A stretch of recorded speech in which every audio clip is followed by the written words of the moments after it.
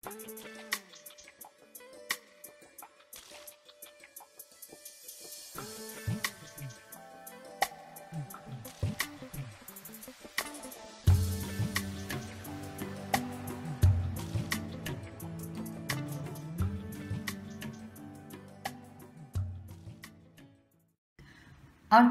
merhaba.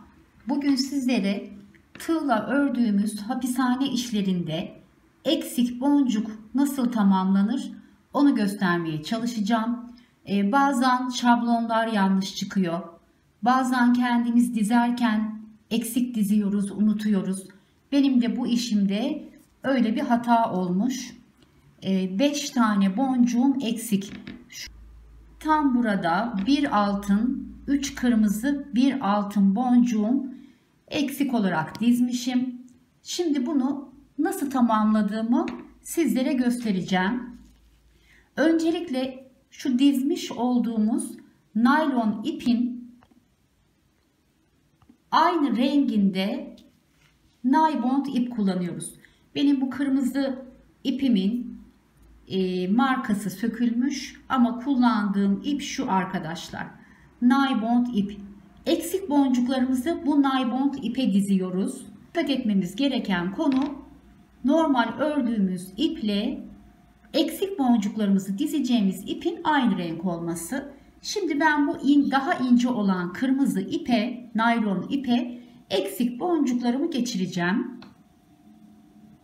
Eksik olan boncuklarım arkadaşlar 5 tane eksik boncuğum var ve bu ince olan daha ince olan ipime bu boncuklarımı geçirdim.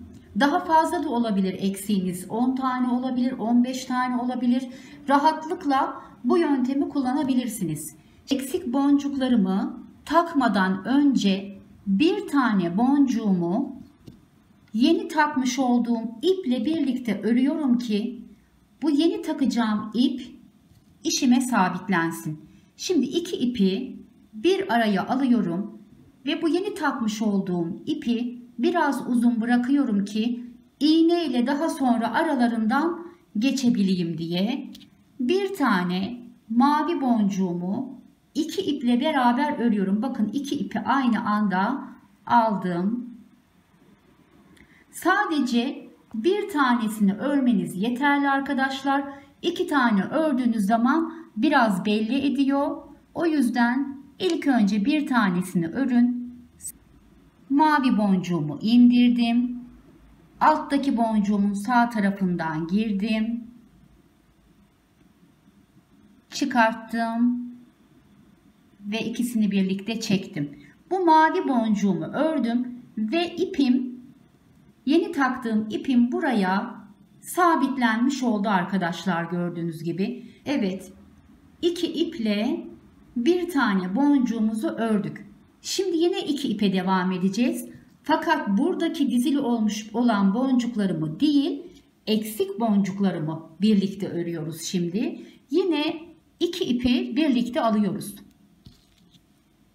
İki ipi birlikte aldım. Parmağıma doluyorum. Sadece eksik olanları öreceğiz şimdi iki iple. Önümdeki boncuğun sağ tarafından girdim ve eksik ilk boncuğumu aldım. Altın rengi boncuğumu iki iple birlikte örüyorum arkadaşlar. Çıkarttım ve çektim. Bir sonraki boncuğuma sağ tarafından giriyorum eksik ikinci boncuğumu aldım. Çektim ve çıkarttım. Üçüncü eksik boncuğumu öreceğim. Bir sonraki boncuğumun sağ tarafından girdim. iki ipimi birden aldım ve çektim. Eksik dördüncü boncuğumu örüyorum.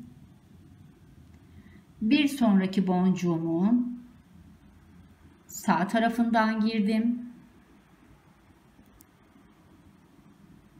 çektim ve ikisini birlikte çıkardım ve son boncuğumu örüyorum.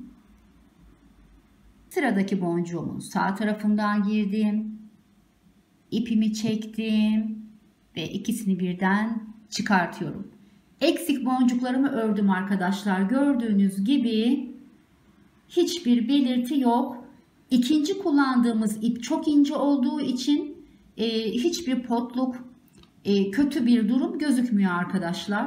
Bu şekilde eksik olan boncuklarınızı 3, 5, 7, 9, 12 yani ne kadarsa rahatlıkla örebilirsiniz. Şimdi işimiz bitti. Eksik 5 tane boncuğumu ördüm.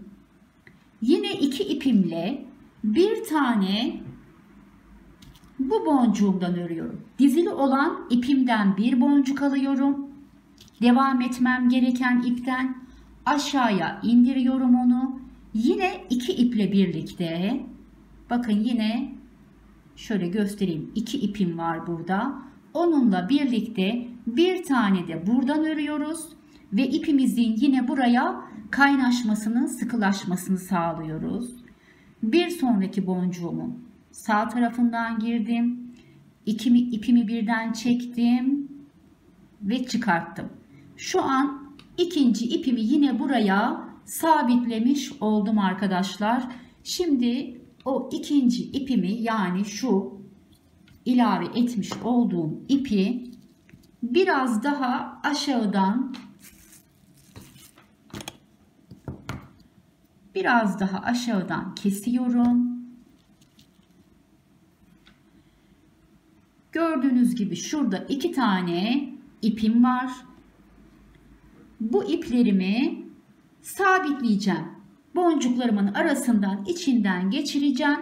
Ama ben şimdi normal kendi ipimle aynen kaldığım yerden işime rahatlıkla devam edeceğim arkadaşlar. Şöyle bir iki tane daha örelim.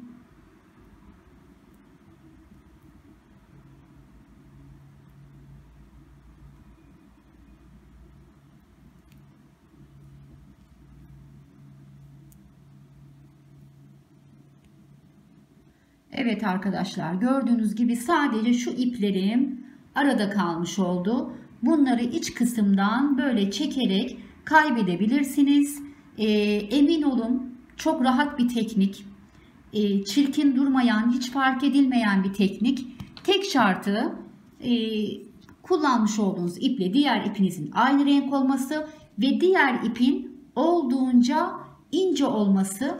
E, bu da zaten kullandığımız Naybond iplerimiz çok ince.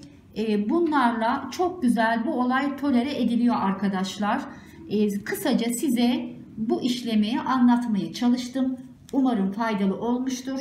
Bir de kullandığımız markaların e, suni ipek aynen bu ipin suni ipekleri çıktı arkadaşlar.